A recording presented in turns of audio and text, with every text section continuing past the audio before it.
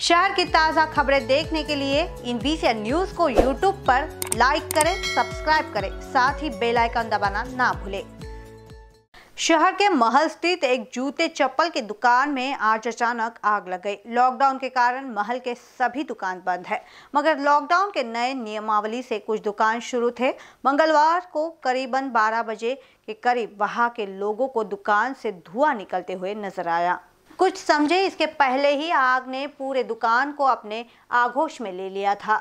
दुकान चप्पल जूते का होने के कारण आग तेज़ी से बढ़ी है। वहाँ उपस्थित लोगों ने अग्निशमन विभाग को सूचित किया। साथ ही आग बुझाने की कोशिश की। अग्निशमन विभाग की गाड़ी आकर आग पर काबू पा लिया है। इस हादसे में लाखों का नुकसान हुआ। आशंका ये जताई जा रही है कि यह आग शॉर्ट सर्किट से लगी हो। अग्निशमन विभाग आगे की जाँच कर रही है।